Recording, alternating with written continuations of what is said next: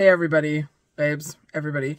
Um, I bought this. It's the e.l.f. Camo uh, Powder Foundation. So I bought it in shade 120 Neutral. I don't know. We'll see. I have moisturizer on. This apparently has primer in it, so we are going to apply it with the little sponge it comes with.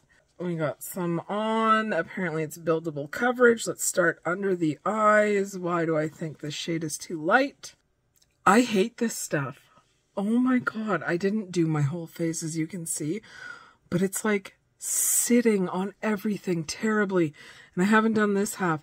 And like this half looks, no, no, it's not for me.